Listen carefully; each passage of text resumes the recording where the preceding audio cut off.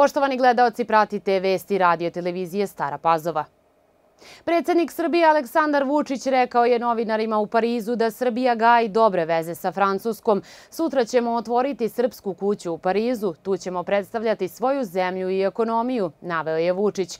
U Srbiji 620.000 ljudi prima prosečnu platu preko 100.000 dinara, više od 100.000 ljudi prima platu veću od 200.000, minimalac će ići na više od 51.000 dinara, a penzije će biti povećane više od 10%, istakao je predsjednik. Govoreći o rudarenju litijuma, najavio je mogućnost da krajem sljedeće godine traži izjašnjavanje građana.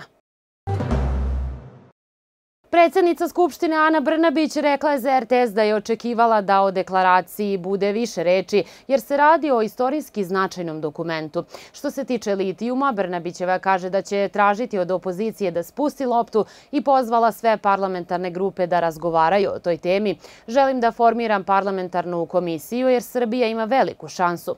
Prema njenim rečima tim dokumentom vraćamo se na nasušnu potrebu da imamo mir i stabilnost i poziva se na poštovanje Dejtonskog Daytonskog sporazuma.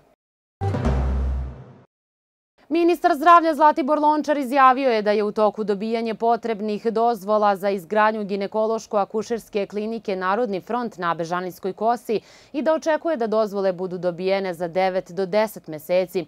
Dodao je da će objekat imati više od 55.000 kvadratnih metara i da će biti najsavremeniji. Lončar je napomenuo da se u državnim porodilištima u Srbiji godišnje porodi oko 60.000 žena i dodao da je ministarstvo pre par meseci započelo obnovu porodilišta porodilišta širom Srbije.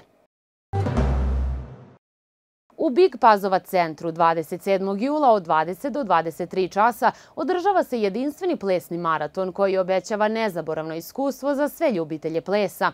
Ovaj poseban događaj kombinuje plesne korake sa elementima izdržljivosti, stvarajući izazovno i uzbudljivo veče za sve učesnike. Sam maraton je osmišljen tako da svi učesnici mogu pokazati svoje plesne veštine i izdržljivost. Na kraju večeri najistaknutijim i najkreativnijim plesačima biće dodeljene medalje i diplome diplome kao priznanje za njihov trud i učešće. Srpska pravoslavna crkva i vernici slave sabor Svetog Arhangela Gavrila. U narodu ovaj praznik naziva se Letnji Aranđelov dan i slavi javljanje blagovesnika. Freska Arhangela Gavrila, poznata kao Beli Anđeo, u manastiru Mileševa, jedna je od najlepših i najbolje očuvanih. Praznik je posvećen dobroti i davanju, pa bi danas trebalo da se setimo naših bližnjih, a posebno siromašnih. Po narodnom običajnom kalendaru svi su poslovi strogo zabranjeni osim dobrotvornih. Zbog toga se veruje da na današnji dan treba odmoriti i da ne treba raditi za sebe ili za novac. Danas su otvorene olimpijske igre u Parizu 33. po redu. Na igrama učestvuje 10.714 sportista u 32 sporta iz 206 država i teritorija. Zbog rata u Ukrajini ne učestvuju Rusija i Belorusija. Olimpijski tim Srbije predstavljaće se sa 112 sportista. Na otvaranju zastavu nose odbojkašica Maja Ognjenović i vaterpolista Dušan Mandić. Srbija će pokušati da osvoji najmanje 10 medalja i tako obori rekord iz Tokija kada je osvojeno devet, tri zlatne, jedna srebrna i pet bronzanih. Srpski teniser Dušan Lajović eliminisan je u četvrtfinalu ATP turnira u Umagu, pošto je juče poražen od italijana Lorenza Muzetija rezultatom 5-7-6-3-6-0.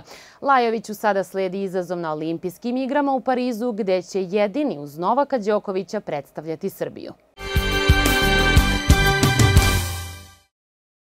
Ljubitelji modifikovanih i unikatnih automobila imaće priliku da u nedelju 28. jula pogledaju oko 300 izloženih modela od kolekcionara širom Srbije, ali i regiona.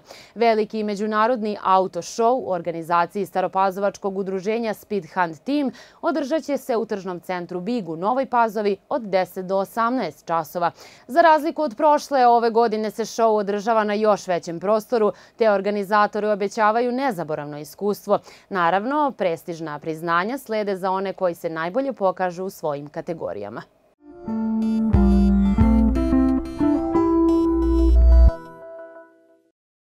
Sutra pretežno sunčano i toplije, najniža jutarnja temperatura od 12 do 19, najviša dnevna do 34 stepena. Pratili ste vesti radio televizije Stara Pazova. Hvala na pažnji i ostanite i dalje uz naš program.